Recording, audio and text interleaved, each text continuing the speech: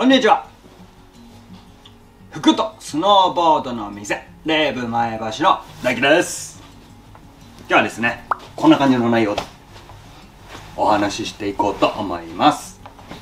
まあ、この時間のところにピッて飛んでいただくか YouTube の目次機能で見たいところをチェックしていただいてもいいです。本当は全部見ていただきたいです。今回はですねこの64コルクジャケットレミーラから届きましたのでこれについて話していこうかなと思っているんですけどなんかねあのサンプルで撮った動画で結構この生地についてとか細かい部分についてがっつりお話ししたので今回はなんかサイズ感だったりとかどうやって着ようかなとかそういう話をできればいいかなと思ってます。じゃあまずねあのサイズ感サイズ感の話から。サンプルの時はあの L サイズしかなかったんですよ。なので僕がね L サイズを着たりとかしてたんですけど今回ねもう全部 MLXL3 サイズありますので、まあ、全部着てみようかなと思います。早速ね M サイズ着てみます。よっ着てみました。僕が身長1 7 2センチの5 2キロ。ちょっとガリガリ体型ではあるんですけど僕が M サイズを着るとこんな感じです。まあ僕が着るなら M サイズかなっていうサイズ感、まあ、元のこのジャケット自体が、まあ、身幅とかちょっとここら辺にゆとりがあるんだけど着丈はそんなに長く設定してないんでこういう感じでねパーカーとか着てると裾がちらっと見えるサイズ感っていうのがまあ僕だと M かなと。で M サイズなんですけど、まあ、僕は今ハバーグレートフルデーのちょっとしっかりしたパーカーとあのレミーラのリングベスト。で、まあ、この下にもねもう1枚ファーストレイヤー着てるんですけどその上からでも着られる感じ、まあ、ファスナー閉めてもちょっとねまだゆとりあるんで多分だから170から175ぐらいの身長で標準体型ぐらい60何キロ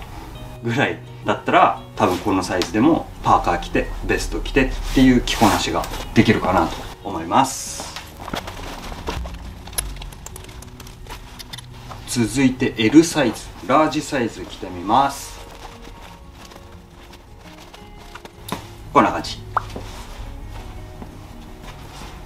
まあ L サイズはこの前の動画サンプルで撮った動画でもこのサイズ着てたんでまあこんな感じかなと。やっぱこの後ろの裾はさっきちょっとこうパーカー出てたんですけどほぼ出ない感じになりますね。着丈がだから2 3センチ長くなるんでそうなるのかな。ただね着た感じはやっぱね楽は楽なんですよね、まあ、こんな感じです。だ L だと175前後で痩せ型から標準体型ぐらいの人はまあこのサイズなのかな。あとはまあ僕ぐらいでもちょっとこうゆったり楽に着たいよっていう人は L サイズ。かなっていうサイズ感ですね。前閉めてみましょう。か、まあ、前閉めるとこういう感じ。やっぱちょっとこうボリュームがすごい出ますね。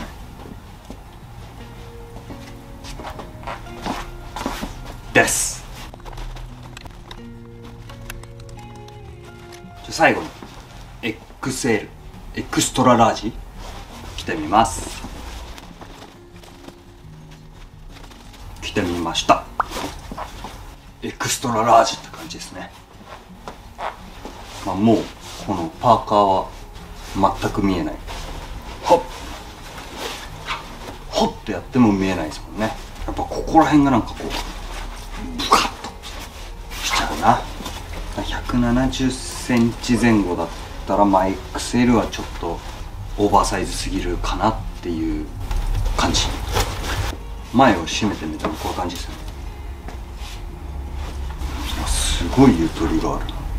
XL ってなるとまあ福さんがねいつも XL なんですよ。178センチの67キロだっけ。で180前後の標準体型の人とかは XL が調子いいのかなって思います。XL だと袖も長いな。超余っちゃう、まあ、こんな感じです。サンプルとの変更点変更点っていうかまあ分かってたことなんですけどこのねボタンがすげえかっこいいのになりました。だこのコルクジャケット用に廃盤だったやつを復刻させたボタンなんですけどこのねブラックとブルーグレーはこんな感じで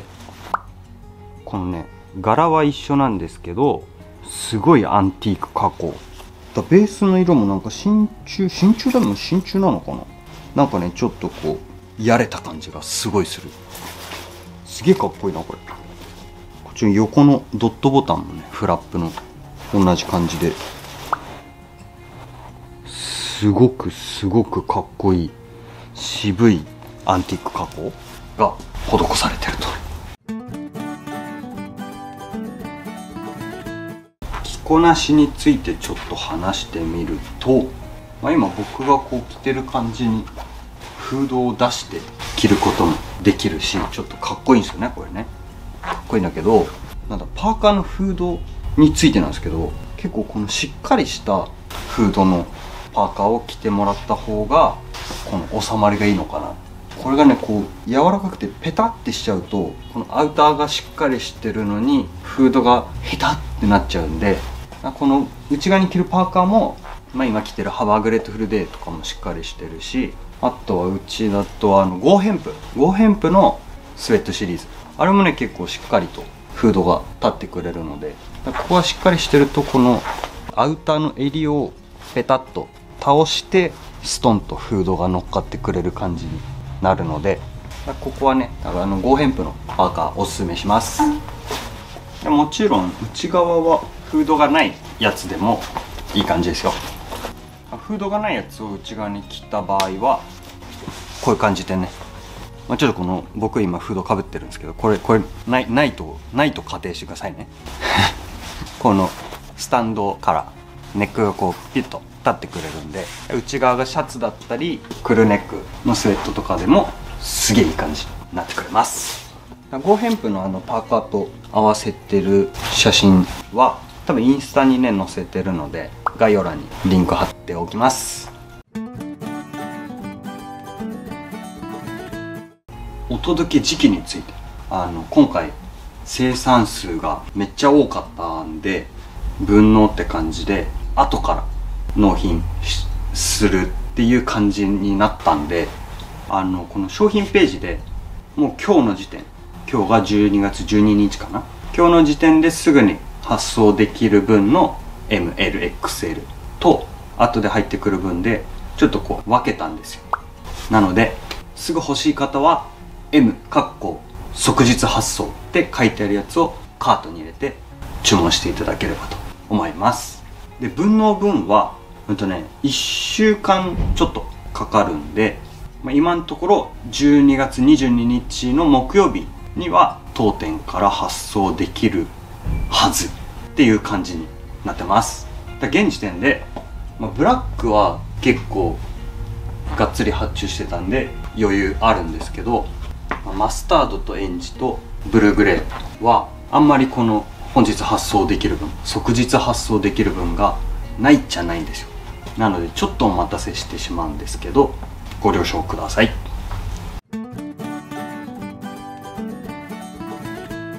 で今回ねあのコルクジャケットを発送するときにちょっとねこういうこういうのを作ってみたんですよ。なんかこのコルクジャケットのここを見てほしいっていうポイントをね僕がまとめた紙とあとねちょっとこのインスタに載せてたコーディネートこんな糸でスタイリングしたんだよっていうのを書いた紙。この2枚を一緒に同梱して送りますのでちょっと見てもらえればと思います。で特にこっちの方はなんかあレーブで買ってよかったなって思ってもらえるようにちょっとね細かく書いてみたんですけどこれを見ながらちょっとこの届いたやつをあここのこと言ってんのかとかっていう風に見てもらえたらいいなって思って書いてみたのでまあ面倒くさい方はあれなんですけどちょっと着る前に見てもらうとなんかこう忘年会とかでねそのジャケットいいじゃんってなった時にいやこここうなっててさっていうお話ができたりしていいのかなと。思ってます。そんな感じで大丈夫ですかね？僕が今着てるこの、まあ、靴だったり帽子だったりパーカーだったりベストだったりパンツだったりの詳細ページのリンクとかは、まあ、概要欄に貼ってあります。あこの靴いいなって思ったらちょっと見てみてください。そんな感じで。この後はねこの動画を編集した時にあああれ言い忘れたなとかっていうのを僕がささやいてる声をね入れてありますのでよかったらそちらも聞いてみてください。何かご不明な点やご質問などございましたらお気軽にメールまたはコメントにてご連絡ください。ではまた。ご視聴ありがとうございます。いやー入荷しましたね。やっと来たって感じです。本当はなんか今週末もうちょっとだから遅く入荷する予定だったんですけど、なんかぬい子さんたちがめちゃめちゃ頑張ってくれたっていうことで、予定よりも早く入荷してくれました。やっぱね、アウターが来ると、買ったぞって気になるんで、いいですよね。でね、でも僕はね、あの、マスタード M サイズ予約してたんですけど、もうね、あの、予約完売状態になってしまってたので、泣く泣く在庫の方に放出いたしました。なので、今の時点ではマスタードの M サイズがあと1着残ってるっていう感じです。いやー、マスタード良かったんだけどなこれを手にするのはどなたなのか。あー、俺どうしよう。あ何色にしよう。あー、迷っちゃうな ブラックとブルーグレーはまだね、在庫しっかりありますので、ぜひとも年末年始に向けてゲットしていただければなと思います。そんな感じで。